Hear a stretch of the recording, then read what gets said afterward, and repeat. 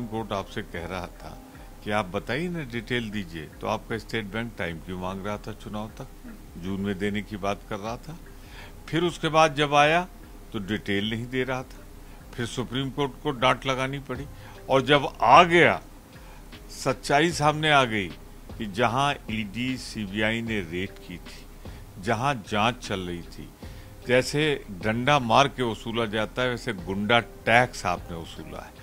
जब आपकी चारों तरफ़ आलोचना हो रही है तो अब आप कह रहे हैं कि इसको ट्रांसपेरेंसी के लिए लाएँगे